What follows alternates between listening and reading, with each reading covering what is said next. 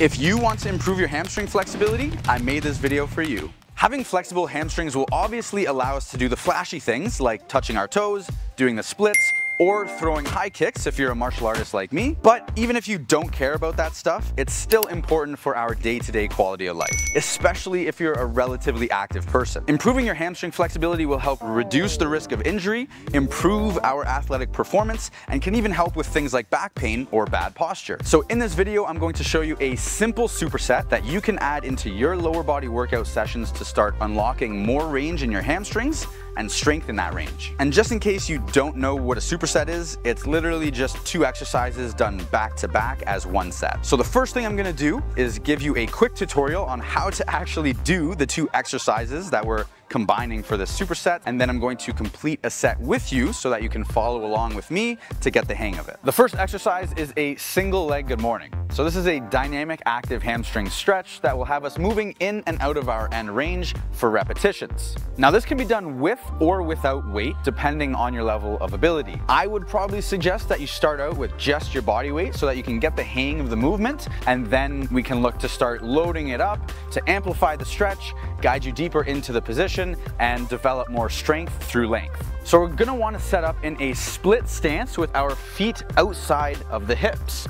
Now, you can play around with your stance and find a position that's comfortable for you, but keep in mind that we do want to create some separation between the front and the back leg so that we can create a better line of tension through the upper hamstrings as we lower down. If we come in too close with our stance, we're going to feel it all in the lower hamstrings behind the knees, Whereas if we can create some distance between our feet, you'll still feel it there, but we'll also be creating a better stretch through the upper hamstring as well, so we can really hit the entire hamstring muscle from the pelvis down to the knee. Once we've found the stance that we're working from, we're just going to hinge at the hips, and we wanna think about pushing our butt back as much as we can as we're lowering down. Now a key note here is that we're only going down as far as we can keep our back nice and flat. So if you're losing that positioning, it means that you're going a bit too deep. Once we've found our end range, we're gonna hold that position for three to five seconds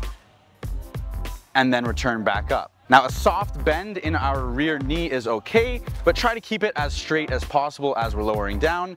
And a quick pro tip for you is to make sure to firmly flex your quad on the front leg because that's going to help support the knee and promote greater relaxation through the hamstrings so that we can squeeze out a bit more range with this movement. When it comes to loading this exercise, you can use any form of free weight. So dumbbells, kettlebells, and barbells can all work well for this exercise. I would just recommend to start light and gradually build up the weight over time to progressively overload the stimulus as you get a bit more comfortable with it. The prescription for this exercise is going to be five to eight reps of three to five second holds in the stretch at the bottom of each rep. Once we've done that on both sides, we're immediately going to do eight to 12 reps of these single leg hip flexor lifts on each side. Now this exercise is pretty straightforward. To get set up in the position, we're going to be seated on the floor and we're just going to extend the working leg and keep our opposite leg tucked in nice and tight so we can hug it and use it for some leverage. All we're doing from here is lifting the leg off the floor using our hip flexors, holding for three to five seconds each rep, and then returning back down to the starting position. Now the most important aspect of this exercise is making sure to flex our quad to lock out the knee and pointing our toes as much as we can before lifting off. This is gonna help recruit maximal engagement from the rectus femoris, which is the main hip flexor muscle that we're working with this drill. So make sure to reset that intention before and after every single rep. And if you're really struggling to get a lift off from here, we can simply just lean back onto our hands to reduce the load on the hip flexors. And conversely, if you wanted to make this more challenging, we can give ourselves an object to lift our leg over and gradually use higher and higher objects over time. And if you really wanted to spice it up, we can also use ankle weights to overload the hip flexors even more. Using exercises like this to develop our straight leg hip flexor strength in our end ranges of hip flexion is going to build the strength on the closing side of the joint to facilitate moving us into larger ranges of hamstring flexibility. So now that we've gone over how to do both of the exercises, let's put them together into a superset. I'm gonna do the first set with you just to help show you how to do it, and then you can take it from there. But remember, work at your own level through your own range of motion. Don't try to replicate exactly what you see me doing because I've been doing this for a long time. So we're gonna get started with five reps of our single leg good mornings on each leg, holding the stretch for five seconds at the bottom of every rep. So we're gonna start, find our stance, a comfortable stance for us to work from, and we're gonna drop down into our first rep. Make sure to push your butt back as you're hinging forward. We're only going as low as we can keep that back flat. Two, three, four, five. That's one. One, two, three, four, five. That's two. And we wanna make sure to extend our hips too at the top of every rep. Drop back down for the next one. Maximize that hamstring stretch. Two, three, four, five. That's three. One, two, three, four, five. That's four. Last one here. Let's go. Find that end range first. One, two, three, four, five. And now we're gonna switch sides, do the opposite leg. Remember to keep that quad flexed in the front leg. As you're lowering down, we're pushing that butt back. One, two, three, four, five. That's one. One, two, three, four, five. That's two. Down to the next one. Two, three, four, five. That's three. Got two more. One, two, three, four, five. That's four. This is the last one here. Let's go for it. One, two, three, four, five. And so now we're gonna drop down immediately into our seated single leg hip flexor lift. We're gonna go for 10 reps, holding the peak contraction for three seconds at the top of every rep. We're gonna do that for both sides, all right? So we're pulling our opposite leg in nice and tight. We're gonna hug that firmly. We're flexing the quads, we're pointing the toes, and rep number one, let's go. One, two, three.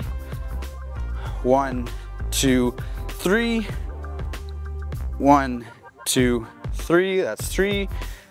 One, two, three. That's four. One, two, three. That's five. Embrace the burn. Your legs should be shaking by now. Three. That's six.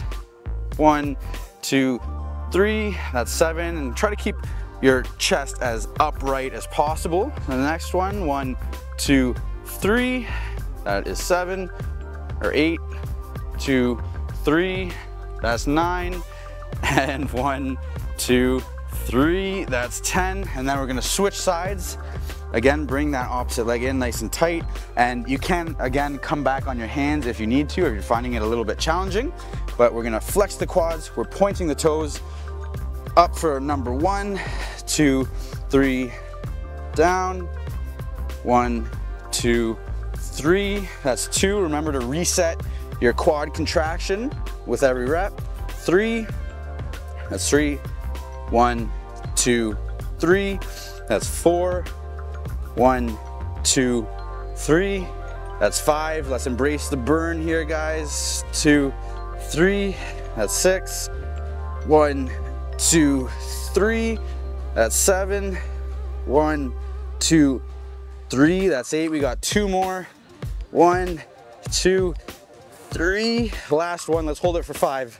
Come on. One, two, three, four, five. There we go. And then once you're done with that, we're gonna rest for approximately 90 seconds and repeat that superset for a total of three to five rounds, depending on how much volume that you want to put into it. After you're done with all of your sets, I always recommend to spend some time checking in on a larger expression of your hamstring flexibility, like a forward fold, for example, or the front splits if you would like to achieve that goal. And I would say probably about 60 to 120 seconds is a good amount of time to be spending in these larger compound positions. That makes it a lot easier for us to track our progress and helps to give us an idea of how the work that we're putting into building these qualities is paying off in larger expressions of range of motion. One other thing that is worth talking about is where does this superset fit in amongst your other training?